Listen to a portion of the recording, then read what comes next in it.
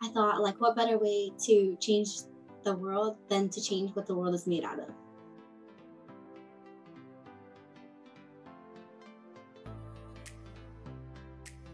Hi, I'm Jessica. I'm a freshman.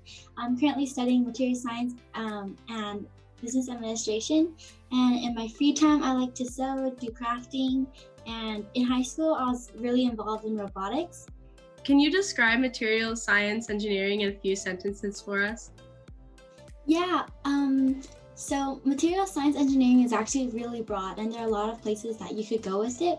But I think um, the underlying description of the major would be like studying materials so that we could manipulate them or find better uses for them.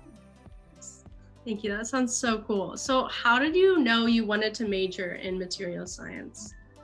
I decided to choose material science engineering as my major because I actually read a book that um, really inspired me to choose this major. So it was called Stuff Ma- Stuff Matters by Mark Miodownik, and it was basically a book about um, very simplistic materials that we take for granted every day. And I was really inspired by how amazing certain materials were. And actually, it's interesting because I come from like a more mechanical engineering background. I was in my school's robotics team where I did more of engineering design. And so it was a bit of a step for me to take material science as my major, but um, I just felt so passionate towards like the causes that I could end up working for in material science.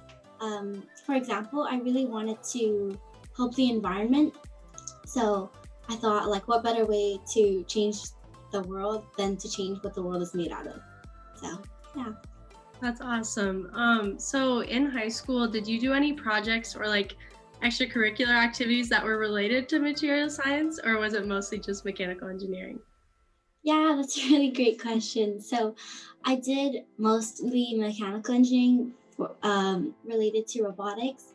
Um, I was in an underwater robotics team, which I guess had a little bit of chemistry, but not that much. And then an online robotics team, which is mainly just mechanical engineering. Um, but I did do an internship over the summer at Boeing where I sort of met both interests of mechanical engineering and material science, where I studied um, the I studied the properties of certain materials and how they would react. So I guess I got a little bit of both worlds for the material science aspect. That's so cool. Um, what were some of like the things you did at your internship, if you can get specific? Mm, yeah. Okay. So I worked with my mentor and we were working on a project and we called it Taming Thermal Shock. And basically, what it was was researching the effects of cryogenic shock on specific material properties, such as cryogenic or really, really cold liquid tanks that are loaded onto reusable space planes. Yeah, that is so cool. That's so awesome.